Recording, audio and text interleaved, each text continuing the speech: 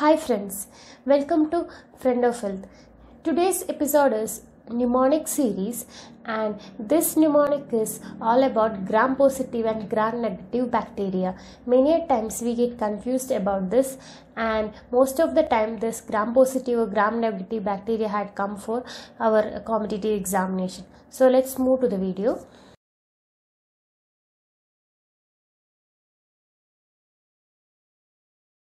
Before moving to the mnemonic, let us see one question. So this question had come for one of the IPGT exam. So let us see the question. Which of the following is a gram-positive bacterial infection? Option A is gonorrhea. Option B is plague. Option C is chancroid. Option D is anthrax. So this is a question. Now let us see what is the mnemonic for this gram-positive and gram-negative bacteria. So listen carefully. This is the mnemonic. All cocci are gram positive except Neisseria. So this is the mnemonic. All cocci are gram positive except Neisseria. So whatever bacteria that comes under cocci groups are gram cocci group is gram positive except Neisseria. Neisseria is also a bacteria but it comes under gram negative bacteria.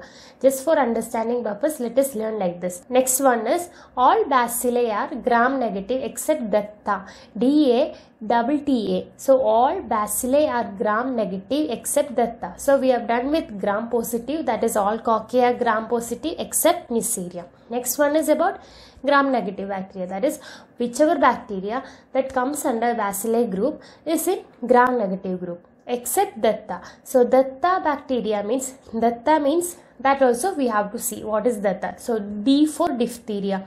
Diphtheria comes under bacilli bacteria but it it is not gram negative it is gram positive. So D for diphtheria, A for actinomycosis, T for tetani that is Clostridium tetani.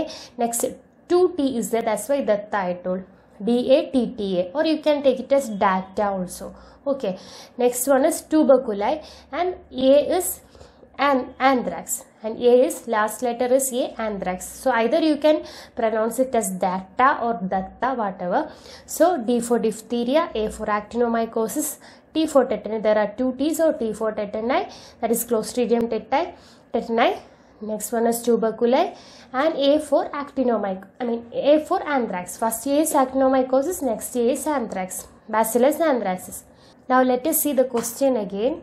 Which of the following is a gram-positive bacterial infection? Option A is gonorrhea, B is plague, C is chancroid and D is anthrax. So which of the following among this is gram-positive? We read for gram-negative like this, all bacilli gram-negative except datta. In that A is anthrax. So anthrax is the answer here. Now we'll see some more thing regarding this uh, bacteria that is cocci bacteria. Just we'll see some examples which, um, which are the bacteria that comes under cocci group. We have diplococci, streptococci, staphylococci and tetrads and sarcinae. These are the bacteria that comes under cocci group. Tetrads and sarcinae are some rare bacteria like we don't read most of the time and this is not that important also. So see that these bacteria also, also comes under cocci group. So that's all about today's mnemonic. So we learned about what are the uh, bacteria that comes under gram positive group and what are the bacteria that comes under gram negative group. Many a times we get confused with this. So if you read like this or if you uh, study like this, you will not get confused, especially for your competitive examination and also those UG students who write their microbiology exam you usually get confused regarding gram positive and gram negative bacteria. So with this mnemonic it would be helpful. Thank you for watching. Kindly watch our other, other revision series also and even highly topics from that of different subjects. Hope it will be helpful for your coming AIP, GT, and all other competitive examination. Thank you all.